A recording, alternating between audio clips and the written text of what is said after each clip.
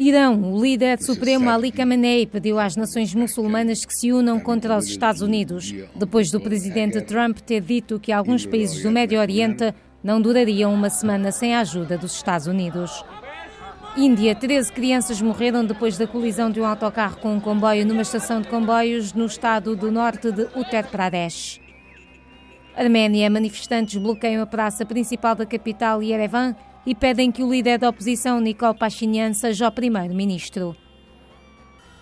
Nicarágua, centenas juntam-se em vigília pelos estudantes que se manifestam contra o governo, depois de uma semana de confrontos violentos que mataram 34 pessoas.